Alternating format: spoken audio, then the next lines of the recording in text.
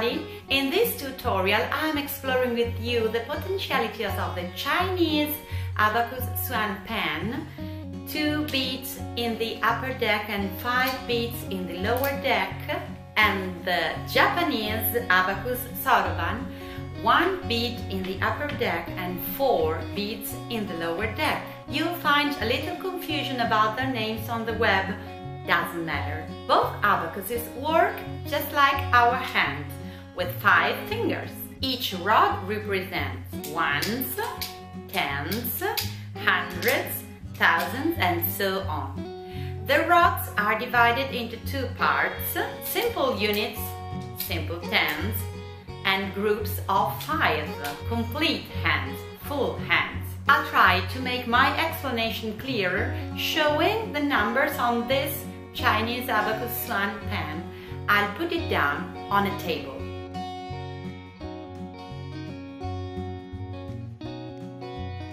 Okay, this is number zero. You see, and I count one, two, three, four, five, and I exchange six, seven, eight, nine, ten. I exchange and exchange again. And then 20, 30, 40, 50, and I exchange and so on. This is number 37, for example.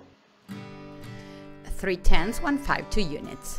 And now 682.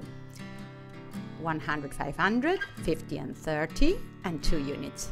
500, 100, 50, 30 is 80, and two units. So you see, you reach 5, exchange. You reach 10, exchange. Okay, let's go on. Let's try an addition with no exchange.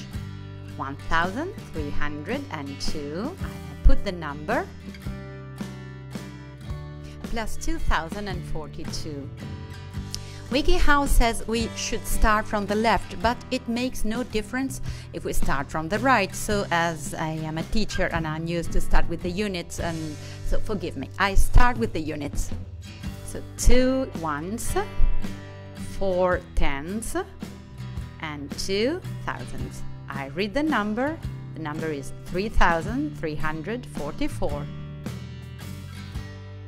And now let's see the exchange. Um, 2,538 and I prepare the number plus 1,656 8 ones, 1, 5 and 3 units.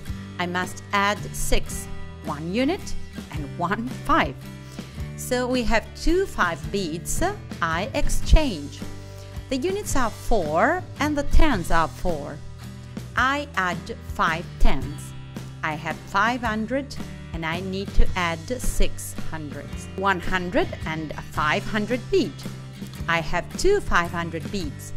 I exchange, so I have 3 thousands plus 1 is 4. I read the number 4194. It's easy to get confused at the beginning, but then you'll become very fast and you'll learn how to use the right fingers. The index finger lowers down and the thumb lifts up the beads, but in the upper deck only the index finger is used. Let's try a subtraction. 2530 and I prepare the number minus 1672 I have 0 units, exchange, and now I have 5 up and 5 down. Now I can subtract 2. I have only 2 tens and I want to subtract 7. So 10, 20, exchange,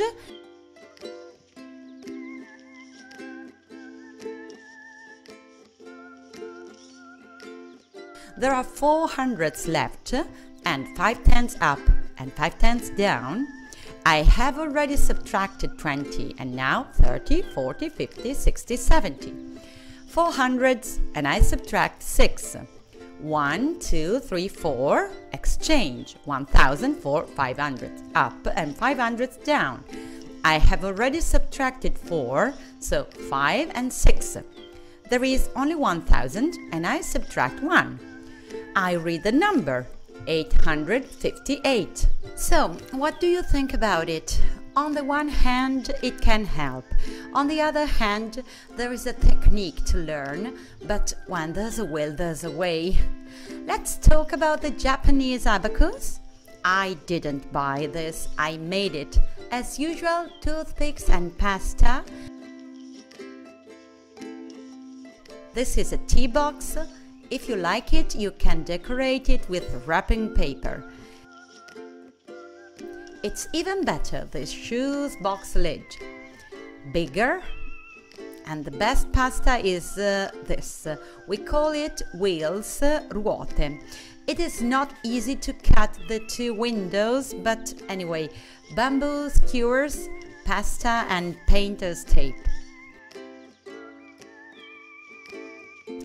Here, the rods represent units, tens, hundreds, thousands, and the two decks indicate simple units and tens and groups of 5 or 50.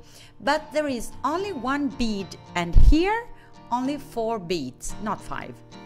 Actually, we use the very same technique we saw before, but I don't say exchange.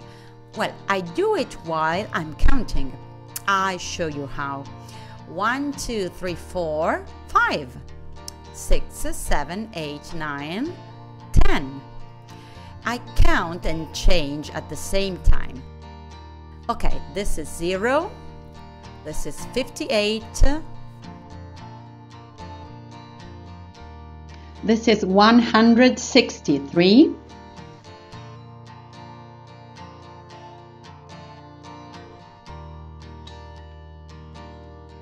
This is 4,720.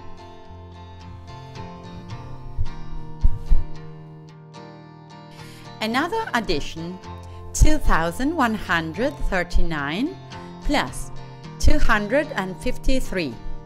I prepare 2,139 and I add 3 units.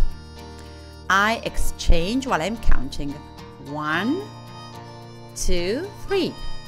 Now we have four tens and I add five. I have 100 and I add two. I have two thousands and I add nothing.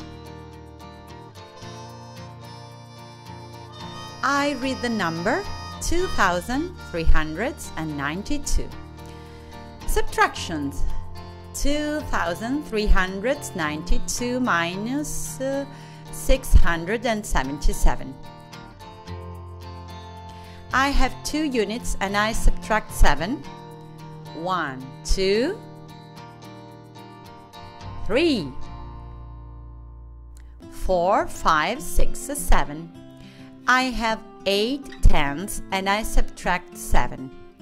1, 2, 3, four, five, six, seven.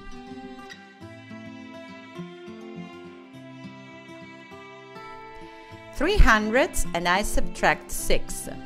One, two, three, four, five, six.